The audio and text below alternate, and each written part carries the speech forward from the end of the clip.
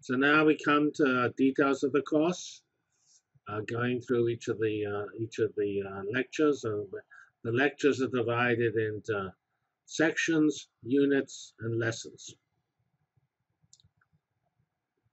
So, say this uh, course is an overview course for the data science curriculum.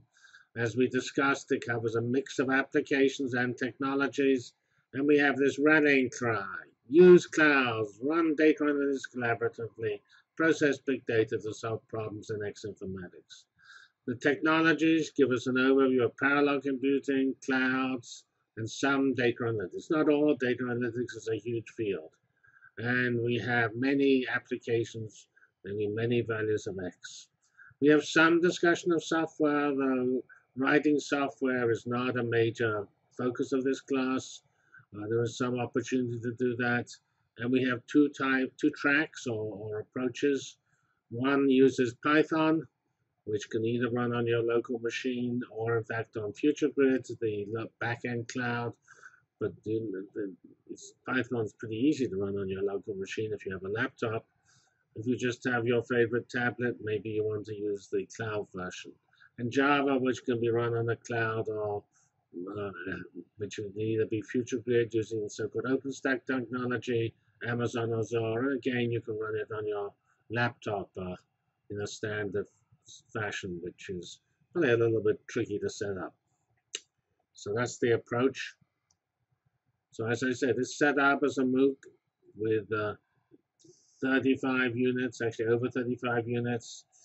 The units cover the uh, sort of intellectual content of the course plus various tutorials on technologies. And a unit is sort of the equivalent of a normal lecture, 30 to 90 minutes.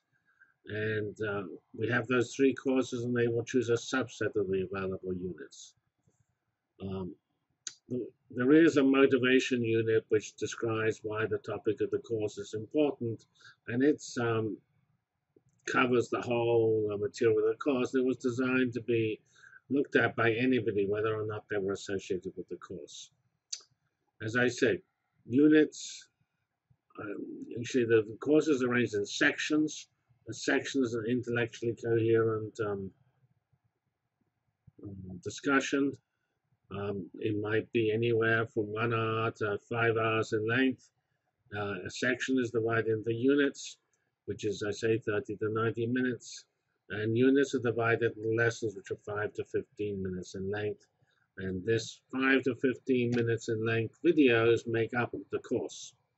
The homework and mentoring are separate from the MOOC lessons. Uh, there is a built-in mentoring through uh, Google Community Groups.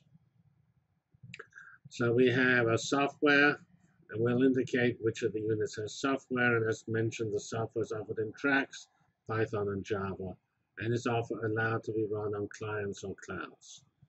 We have what I call side MOOCs, which actually just look like ordinary units to you.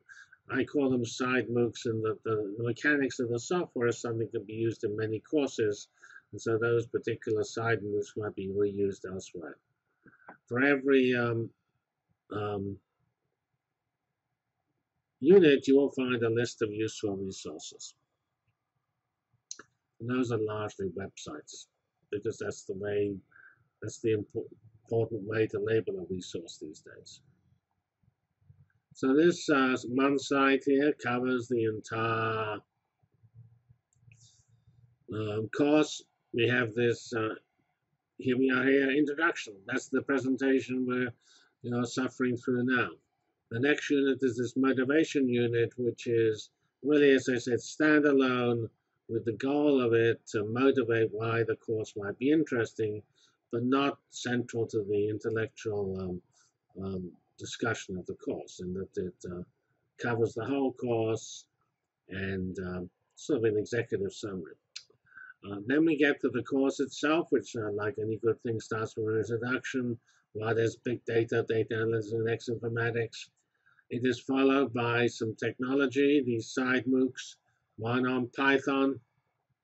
We go through these particular technologies, NumPy, SciPy, and Matplotlib. And then we have a side MOOC on using FutureGrid for Java and Python.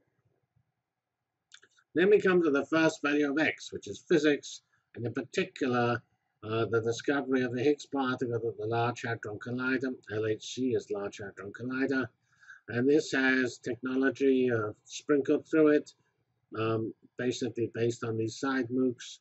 It explores sort of basic statistics, events, histograms, modeling, um, uh, central limit theorem, things like that. Now we come after that, uh, we have um, lots of values of x, in fact 51 values of x. We have a, a survey of lots of different uh, big data use cases, and that's divided into three units. Then we have another side MOOC on a specialized piece of software you can download called PlotViz, which displays point distributions in three dimensions. Then we have um, three units on um, for the value of e-commerce and lifestyle, which is you know technologies underlying um, uh, Amazon, uh, Netflix, and things like that.